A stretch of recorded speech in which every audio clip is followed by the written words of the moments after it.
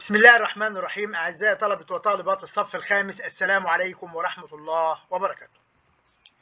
معكم مستر علاء الخضري ومادة الدراسات الاجتماعية. درس النهاردة الدرس الثاني من الوحدة الثانية. مصر في عصري البطالمة والرومان. في نهاية عصر الدولة المصرية القديمة تعرضت مصر لفترات من الضعف.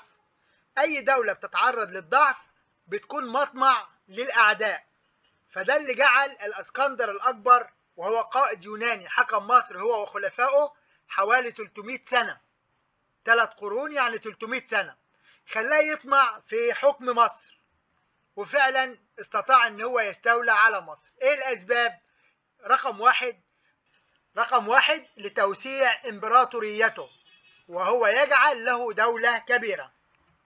رقم اتنين تأمين الغذاء لجيشه لأن مصر كانت أكبر مصدر للقمح في العالم القديم في هذا الوقت. الأسكندر الأكبر خطط لبناء مدينة الأسكندرية لتكون عاصمة لمصر. لكي يتقبل المصريون حكمه حكم الأسكندر الأكبر عمل إيه؟ رقم واحد أظهر احترامه للديانة المصرية. رقم اتنين زار معبد الإله أمون في واحد سيوة حتى يتقرب إلى المصريين ويتقبلوا حكمه. البطالمة وحكم مصر. سميناها دولة البطالمة نسبة إلى الحكام. كان اسمهم بطليموس. بطليموس الأول بطليموس الثاني بطليموس الثالث. بطليموس الأول حكم مصر بعد وفاة الأسكندر الأكبر وهو اللي استكمل بناء مدينة الأسكندرية. أهم أعمال البطالمة في مصر. من ناحية الجيش اهتم البطالمة بإنشاء جيش قوي وأسطول قوي. الحياة الاقتصادية رقم واحد الزراعة. اهتم البطالمة بحفر الترع والقنوات وأدخلوا محاصيل جديدة في مصر زي العنب والزيتون وسلالات يعني أنواع جديدة من الحيوانات وأدخلوا السقية لري النباتات. اللي في الصورة دي الساقية. المصريين القدماء ما كانوش يعرفوا الساقية. رقم اتنين الصناعة. ازدهرت صناعة الزيتون والمنسوجات والزجاج والعطور. رقم ثلاثة التجارة. اهتموا بالتجارة فأنشأوا منارة الإسكندرية لإرشاد السفن في البحر. وفرضوا الرسوم على التجارة الخارجية. التعليم والثقافة. رقم واحد تم بناء جامعة الإسكندرية والتي ازدهرت فيها العلوم زي الرياضيات الطب التاريخ الآداب الفلك. رقم اثنين تأسيس مكتبة الإسكندرية وهي من أكبر المكتبات قديما.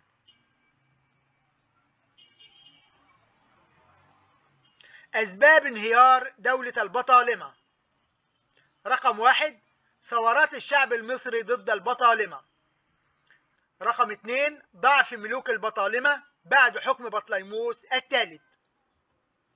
رقم ثلاثة تدخل روما في شؤون مصر الداخلية. كليوباترا السابعة. كليوباترا السابعة آخر ملوك البطالمة. أصبحت مصر ولاية رومانية بعد هزيمتها. اتهزمت في معركة أكتيوم البحرية سنة 30 قبل الميلاد.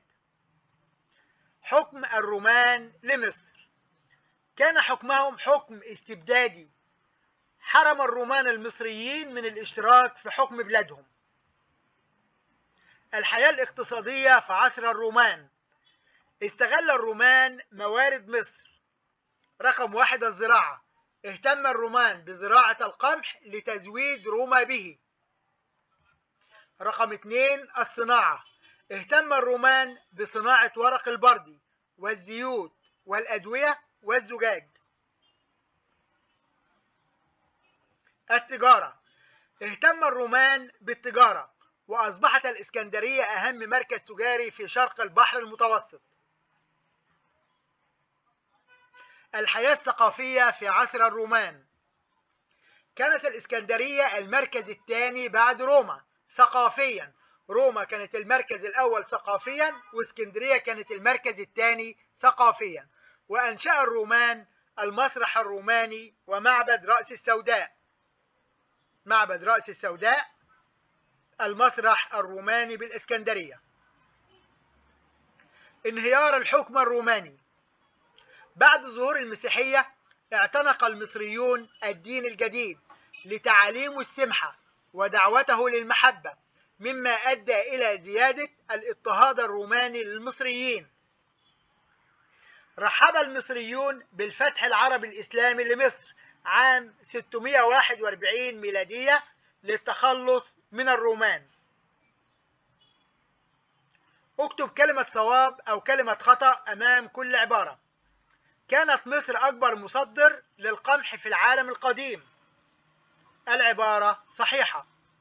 أظهر الإسكندر الأكبر احترامه للديانة المصرية. العبارة صحيحة.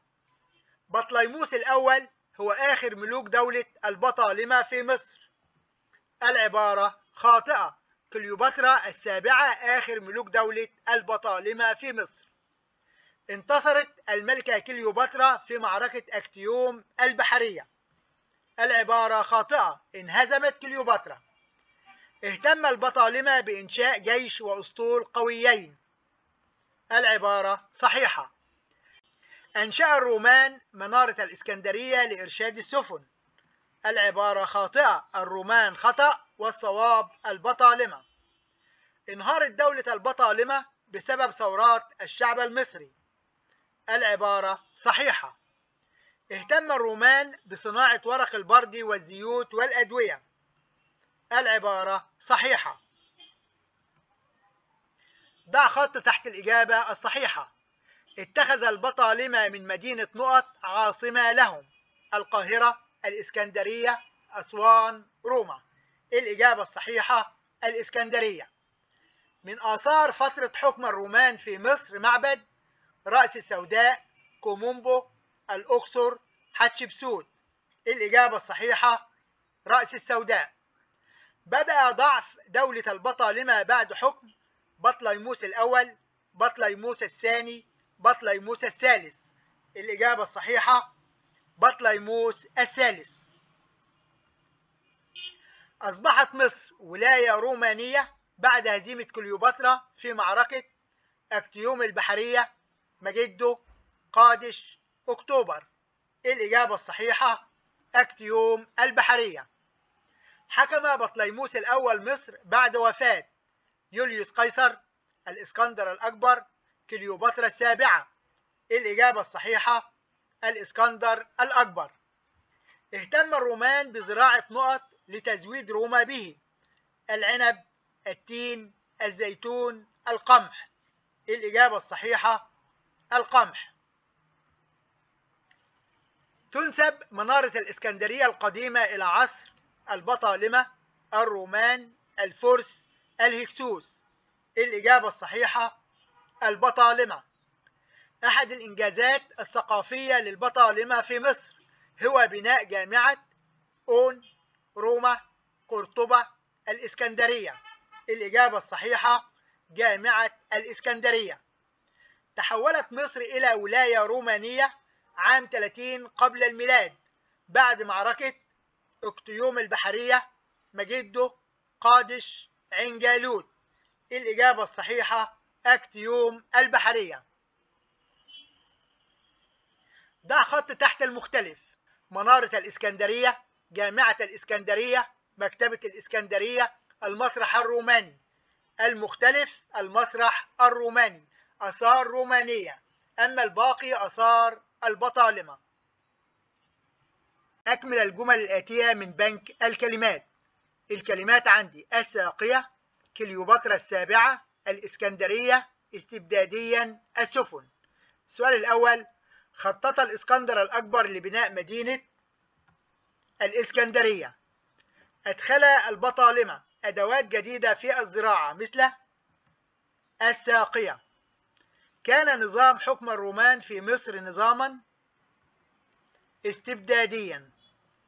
أنشأ البطالمة. منارة الإسكندرية لإرشاد نقط. لإرشاد السفن. آخر ملوك البطالمة في مصر هي كليوباترا السابعة. إن شاء الله الدرس القادم تدريبات على درس مصر في عصري البطالمة والرومان. والسلام عليكم ورحمة الله وبركاته.